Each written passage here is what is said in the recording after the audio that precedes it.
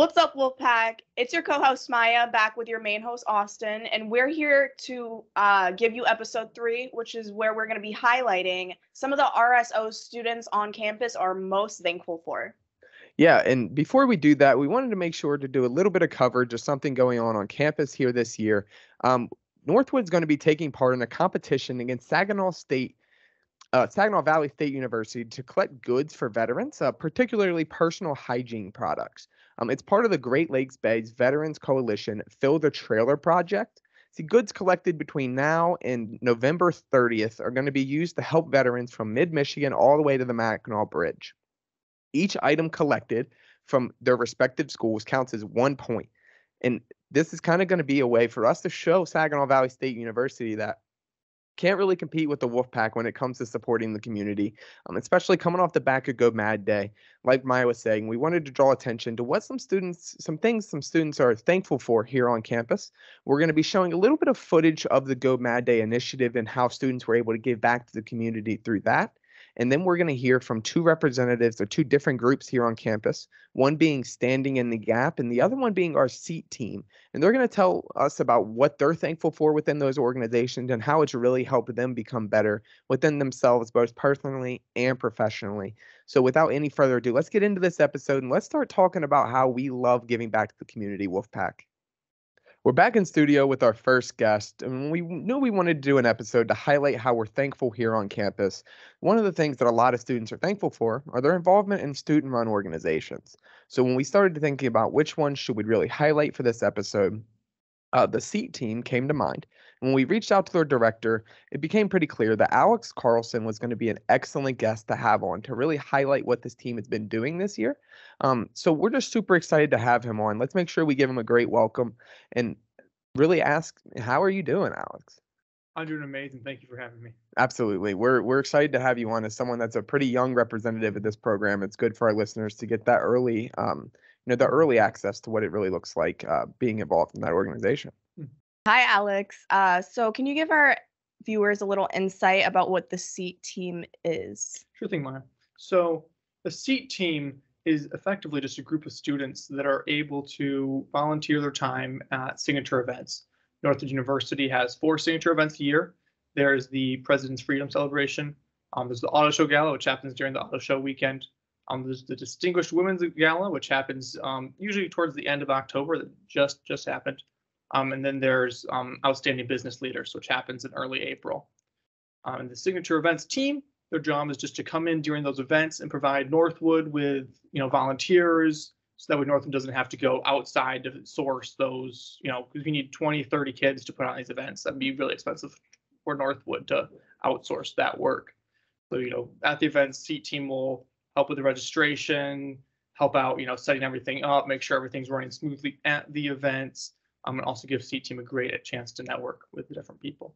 Um, moving forward, we are kind of hoping to add though to the SEAT team and add on um, because right now SEAT team is very focused on just those signature events. Mm-hmm. So we would like to expand that. Um, we've just started a gem cart training program to teach the students how to you know drive the gem carts around, um, and we're reaching out to other um, organizations on campus to see how else we can help out. We have a large team of volunteers, so however we can help out at other events would be amazing.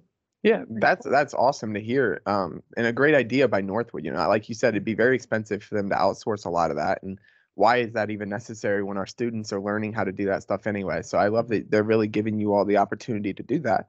Um, so now that we know a little bit about the SEAT team and what it does on campus, how how are you involved in the team this year? So my job on the SEAT team is I'm actually the SEAT team's um, lead or coordinator Okay. um, for the director of signature events, Jen Carpenter. Um, I work for her, and my job is to just make sure that the SEAT team is where they need to be and that they know what they're supposed to do. Among other things, you know, before events, I'm helping you know print out things and design posters, stuff like that. Um, my job with the SEAT team is primarily just making sure that they all have a task, they all know what they're doing, they have all the resources that they need, so that way Jen doesn't have to worry about organizing 30 kids and planning an event. The organizing the kids is my job. That's awesome. Yeah. It sounds like it gives you a greater, a lot of great experience in that role. Um, and, and I know we were talking a little bit before the show. Can you just tell the, the you know our listeners what year you are and how quickly you've gotten involved in all this? Yeah, so this is my first year at Northwood. I'm a freshman here. I uh, it was just it's very cool actually. Jen, you know, reached out to me. She said she wanted to have an assistant for this position. I accepted that, and I have. It, it's been really fast paced, um, but I've absolutely loved it. I've had an amazing experience, and I've learned more than I could have ever imagined I'd learn just a few months here. So it's been Yeah. really incredible. Awesome. As Austin already said, we know you're getting a lot out of this. Is there anything that you're specifically the most thankful for uh, from this organization? Yeah, so I think there's a lot of different areas that I'm super thankful for. The number one is just the experience I've had. This, you know, it's an experience that you can't really get anywhere else. Right. Um, planning these events, there's a lot, there's a lot of stuff that goes into them that I didn't even realize that went into these. From you know, just finding the venue to finding the times to planning the speeches, and there's so many moving parts that all have to come together just at the right moment to make these things work. Yeah. And that that's truly a lesson that I, you know, have definitely internalized. But also just the people I'm working with on a daily or semi-daily basis, just from the seat team members to the staff at Northwood University, they're all absolutely incredible. Um, similar to the staff is leadership. Um, you know, obviously being a freshman, they've put a pretty large amount of trust in me to Yeah. make sure that these, you know, these events are one of our Northwood University's kind of forward-facing events. When donors and sponsors are looking at these, this is what they see as the signature events. Mhm. Um, and so they put a lot of trust in me, helping make sure those go smoothly, and I just thank them for giving me that opportunity. Yeah, that's awesome. Um, and I know you mentioned earlier some of the events that you all put on, and the the um, outstanding women's gala being one of them. Uh, can I know that just happened recently? Can you give us a little bit of a recap as to how that event went? So the event went remarkably well. The students obviously did an amazing job. I've gotten over 20 different emails from different donors and sponsors saying that they love the students. That's why it's so important to have the seat team. Uh, You know, we mentioned earlier how the seat team is really good for Northwood being a much cheaper option than having to pay to have 30 or 40 people come in and Mm-hmm. um, volunteer. Well, you know, they're not volunteering at that point, being staff at these events. Mhm. Um, but it's also really good because the sponsors and the donors they want to see the students. That's why they s- that's why I support Northwood is for our students. Yeah, absolutely. So having the seat team is kind of a dual purpose for North, Northwood, having the uh, free labor, but also being able to display our students and display really good students. Yeah, that's awesome. Well, it sounds like you're doing an amazing job, Alex. I wish you nothing but the best of the luck going forward in the events you're going to continue to put on on behalf of Northwood University. Um, you're making us proud every single event that we put on, and we hear all the great things and we see all the great posts. So continue to do your thing, and I'm sure that you're going to have a great next three years here, uh, continuing to be a part of this Timberwolf family. Thank you very much. Absolutely.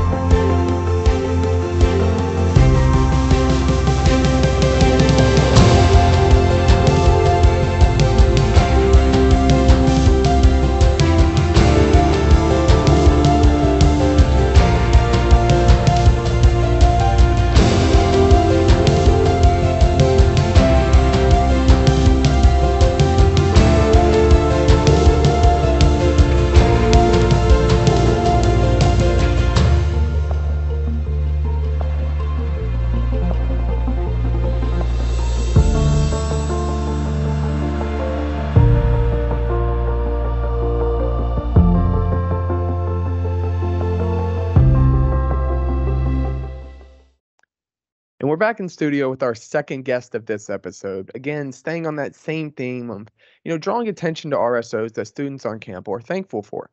Um, so when we thought about another one that would really work, standing in the gap came to mind, and it was something that know, it has a really tight knit community here on campus that we wanted to highlight. So we reached out to some people we knew in the organization, and they recommended Luke Gorlick to come on and kind of give us some insight into what this organization does and how students should be uh, excited to go into it. So let's get into it. Uh, Luke, how are you doing today? I am good. How are you? I'm doing pretty good. Excited to have you in to cover such a great organization.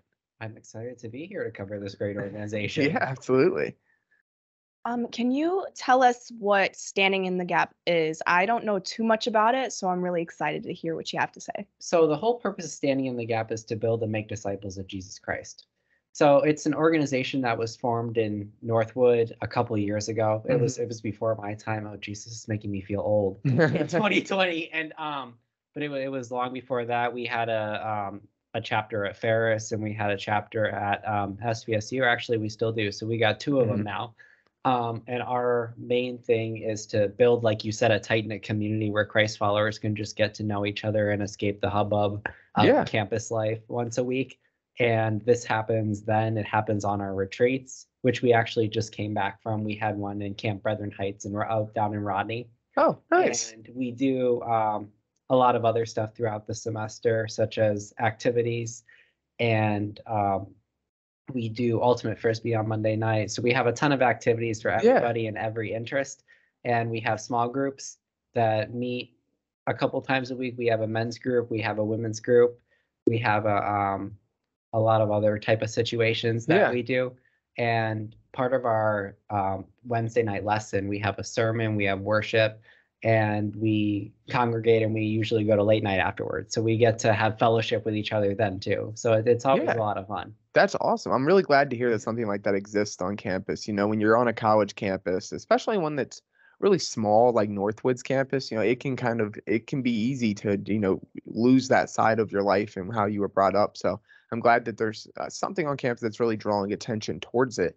Um, but kind of staying in that same realm, I want to know, Luke, you know, what drew you towards the organization? How did you find out about it and what kind of pushed you to say, I want to be a part of this? When I was a freshman, we had for my foundations class, we had to go to the RSO walk where we had to walk. That's back when they have it on the mall walk. Yeah. So we had to do that. And the first organization I saw, one of the tables was standing in the gap. And I'm like, what is this? And I'm like, Yeah. They told me about it. And I was thinking how cool it was. And I've just stuck with it ever since. That's back when we met at the amphitheater. Yeah. So we would meet I at- remember that. yeah. I remember that. Yeah. It was it was like so cool. We met at the amphitheater on Wednesday and it was great because we had to see people walk by and wonder what are these people doing? Yeah. And it was that's how you, probably you know about standing in the gap. yeah, absolutely. Yeah, during that time, I was living right there in Nagley Village. So anytime I'd you know walk over towards the calf or be walking uh, to my night classes, I would see you guys out there or kind of hear. I remember.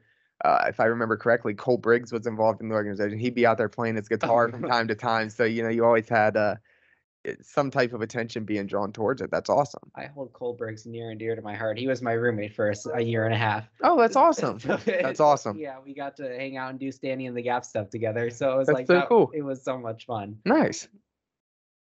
So, uh, do you guys usually meet in that chapel that's in like Minor? We meet in the student union. Oh, okay. Nice.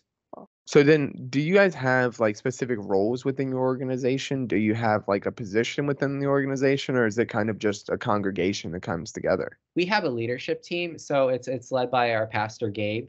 Oh, okay. and it was um we have probably like seven or eight people on the leadership team and they're promoted every year. He chooses people that he thinks will be good for leadership team. Yeah, and that's actually one of the things that i'm on. I'm leading the foundations group this semester. That's awesome. yeah so we learn all about like the basis of the christian faith standing in the gap and just anything religious in general. So today we're talking about resurrection of the dead. We got to talk all about baptism and baptism of the holy spirit speaking in tongues and we go mm-hmm. really deep and we get to meet at live oak in um, downtown midland That's so, that- cool. it's always a lot of fun Nice, nice. Um, is there anything that you are specifically very um, thankful for in this organization? I'm just thankful for the level of community as a whole. Like I've come from a um a high school. I didn't have a lot of friends in high school. It was always really rough. So I'm thinking like, what am I gonna do with college where I'm coming here where I have two thousand people and I'm like, I don't know what I'm gonna do. Yeah. So it's like when I met Standing in the Gap, these are some of the greatest people I've ever met. So it's like they have helped me so much, and it's always somebody I can talk to, always somebody I can call up and hang out with, and it's like it's such a blessing for somebody that um, didn't have a ton of social skills in high school to be with a group that is able to accommodate that and just like understand. And it's like it's just such a great organization to be a part of from anybody from any walk of life. And I'm that's one of the things I'm so thankful with the organization. That that's awesome. I I hope that a lot of our, you know, people that see these episodes and are going to be coming in in future years kind of see that, you know, there are communities at Northwood that you don't have to feel like you have to be that prototypical super outgoing person to be able to be a part of that you can kind of find a home here at Northwood in, in whatever kind of realm that is. Um, but I know that with it being, you know, Thanksgiving season and Go Mad Day being here on campus recently, um, I know we spoke a little bit before the show, and you mentioned how you know you have members that are in different organizations and they volunteer on Go Mad Day on behalf of those. But I know you said you guys did some volunteering recently. Can you just tell us a little bit about what that was, how you all volunteered as a group? We did Standing in the Gap went to Open Door Midland eh, to replace doorknobs and, and help out with that. I actually have a friend that works there. So it's like she was so thankful for the organization and how Standing in the Gap came to help out with that because it's like it's so great to be able to do community activities. Yeah, And it's like unfortunately I wasn't able to make it. I was really sad. yeah, But it's like that's one of the things that Standing in the Gap does. We, they put in the GroupMe, hey, I, we need some people to go to Open Door Midland to help replace doorknobs. And immediately people were like, we're going to go. Yeah. know you want to go. So it's like, it's incredible that there's always people willing to help in Yeah. the organization. yeah. It's just such a Especially being able to help such a great organization like Open Door. Uh, that so to be able to hear that you guys were, you know, participating and being a part of that is uh, great. Definitely pushing the Lord's message. So it's great to see y'all are really putting into action what you preach. It's, it's a great thing to see. Um, so thank you for coming on the show, giving us a little bit into insight about this. I'm sure that a lot of our listeners maybe didn't know this was a thing and have been exposed to it now. So pay attention to y'all's email and start maybe seeing some more people at your meetings, and I'm sure they'll be welcome with open arms. Thank you so much. Yeah, you will be welcome with open arms. We meet on Wednesday night at eight o'clock. And feel free to come and join us. We'll always be happy to have you. And we look forward to seeing you soon. Absolutely. Thanks for coming on, Luke. Thank you so much.